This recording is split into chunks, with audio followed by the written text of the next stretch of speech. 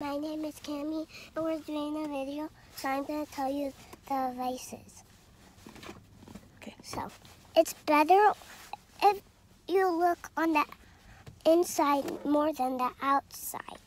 Because, um,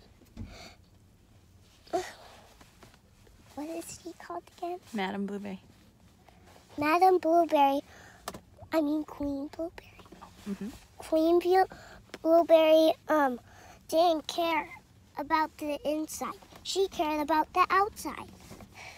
And was that the right way to live? No, she, she wanted to look beautiful on the outside, but she looked beautiful on the inside.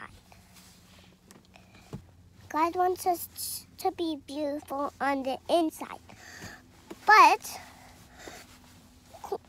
Princess P um, told her that.